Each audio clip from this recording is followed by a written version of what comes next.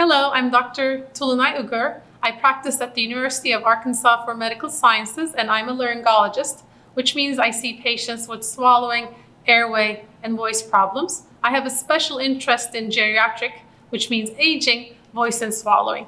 I would like to talk to you today about swallowing difficulty and aging.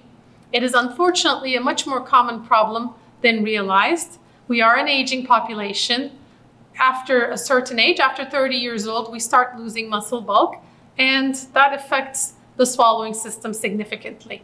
Unfortunately, most of the times, it's dismissed as a part of normal aging and that there's nothing to do about it and can lead to significant problems, such as malnutrition, which means you start losing weight, dehydration, which is dangerous and can cause you to end up uh, being admitted to the hospital or emergency room.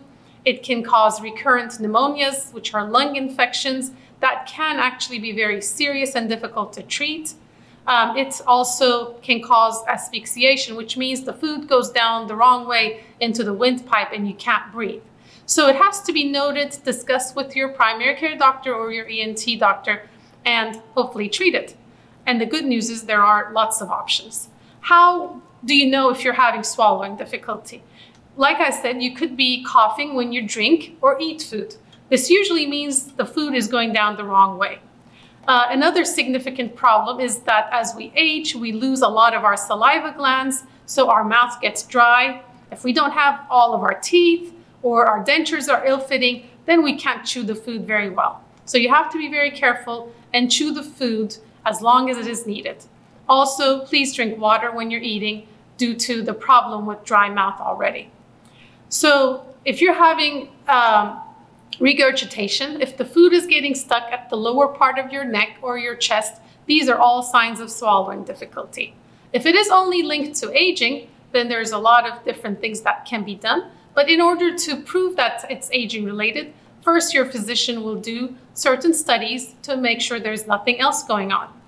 Once it's linked to just aging, then we do different things, including therapy to strengthen your throat muscles and your tongue muscles.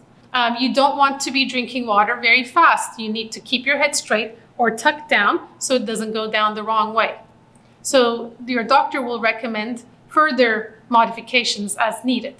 So if you need further information, please talk to your primary care physician or your ENT doctor, and you can go to enthealth.org and also find further information. enthealth.org.